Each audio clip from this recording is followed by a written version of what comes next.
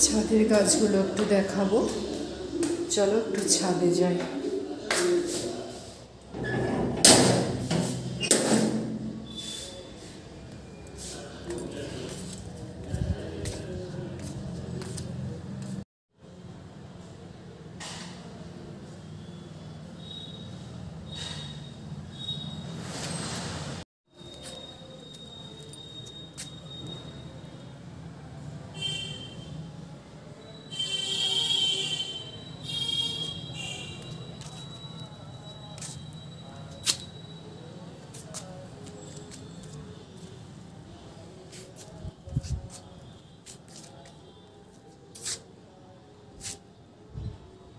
ছাদে আসাই হয় না।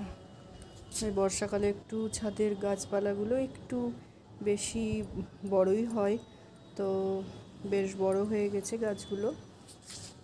অনেক দিন পরেই ছাদে এলাম, তোমাদেরকে ছাদের গাছগুলো দেখাচ্ছি।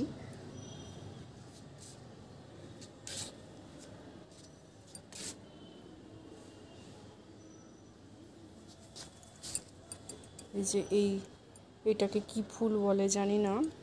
আমাকে একজন দিয়েছিল। তো অনেকটা গাছের সঙ্গে একবারে আঁকড়ে ধরে নিয়েছে।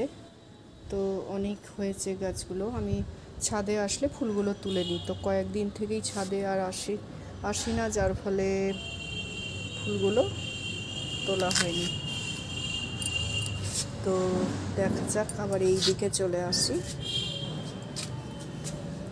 এইটা একটা কি গাছে গাছ জানি না, ফল হয় এই গাছটাই। ফল হয় কি ফুল হয় ঠিক বলতেও পারছি না গাছটা এসেছে। তবে শুনেছি একজনের কাছে যে ফল হয়। তো কি ফল হয় সেটা জানি না। তবে দেখা যাক, গাছটা কিন্তু অনেকটাই বড় হয়ে গেছে।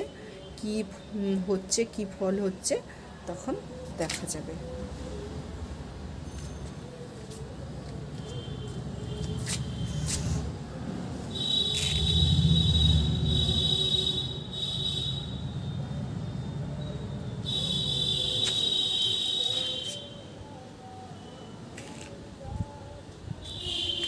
আর একটা গাছ দেখাই। এই যে। সব রকম মিশিয়ে গাছ আছে।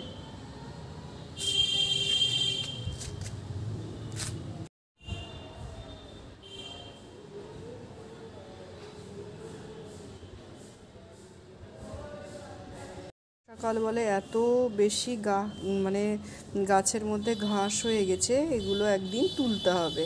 তো ভালো লাগছে দেখতে বলে তুলিনি।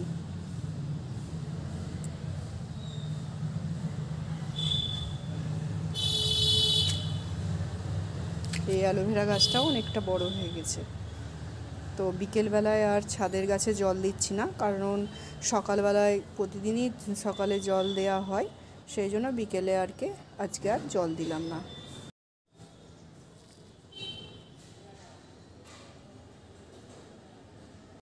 দেখিয়ে দিচ্ছি এই গাছগুলো। এই যে এখানে একটা গাছ। জুম করে দেখিয়ে দিচ্ছি। এই যে এখানে একটা গাছ আর এইখানে একটা গাছ।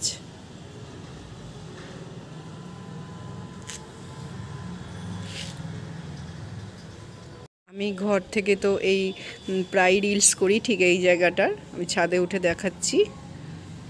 আমার খুব ভালো লাগে এই প্রাকৃতিক সৌন্দর্যটা। তাই আমি প্রতিদিন এখান থেকেই রিলস করি। মানে নিচের ঘর থেকে রিলস করি।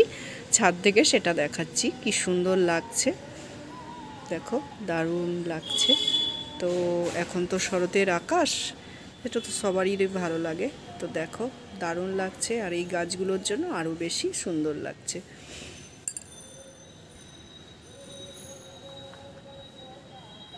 একটা জবা ফুল ফুটেছিল, তুলতে আসেনি বলে তোলা হয়নি, ঠিক আছে। কালকে তো তোলা হবে না, আজকে তুলতে হতো, তো থাক, গাছেই ভালো লাগছে।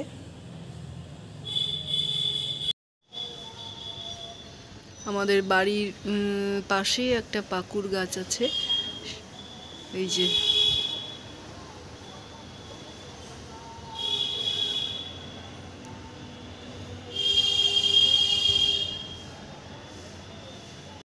অনেকগুলো ফুল হয়েছিল কিন্তু তুলতে আসেনি বলে তোলা হয়নি।